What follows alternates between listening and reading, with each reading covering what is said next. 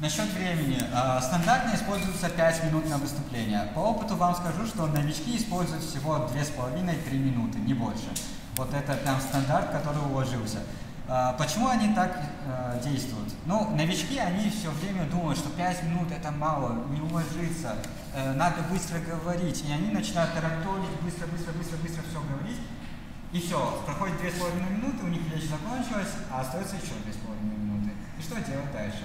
А умелый оратор же, наоборот, использует целых 5 минут, а, да еще прибавляет 30 секунд. А, о правилах 30 секунд поговорим на следующих слайдах. А, судья не штрафует 5 минут 30 секунд, но 5 минут 31 секунда он уже штрафует как превышение времени. То есть 30 секунд вам дается как превышающий лимит, такой буферная зона, где вы можете либо договорить, либо остановиться. А, Начиная со второй, со второй минуты по конец четвертой минуты вы можете задавать вопросы. То есть э, человек, вот я, например, вышел на свою роль, а первую минуту вы ни- никто не можете мне задать, никто из вас не может задать мне вопрос.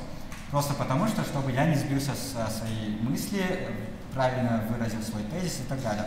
Вопросы задаются только с поднятой руки, не вскакиваем, не встаем, не кричим, ничего. За это штрафуются. Вы просто должны поднять руку, и если спикер захочет принять вопрос, он скажет, да, давайте вопрос, и уже после этого вы задаете вопрос. А, По вопросам. Здесь тоже нужно быть а, аккуратным, потому что многие начинают э, изначально говорить, откуда у них вопрос там, или начинают как-то дебатировать уже во время вопроса.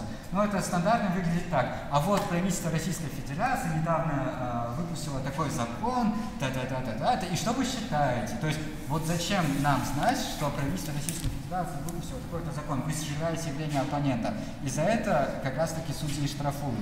Вы должны задать вопрос, а как вы относитесь к закону номер такой-то или название такое-то? И это будет четкий, конкретный, короткий вопрос.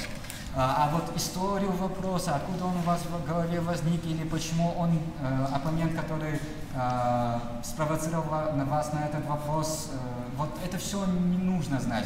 Судье это не важно, Ва- важно просто задать вопрос.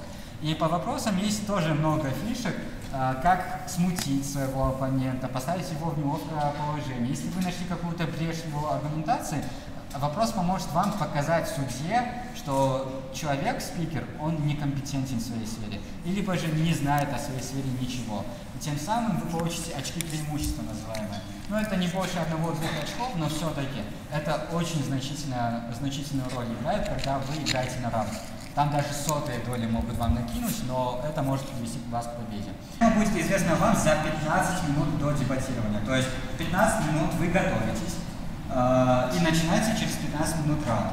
Э, раунды обычно заканчиваются спустя где-то 40 минут после начала дебатирования.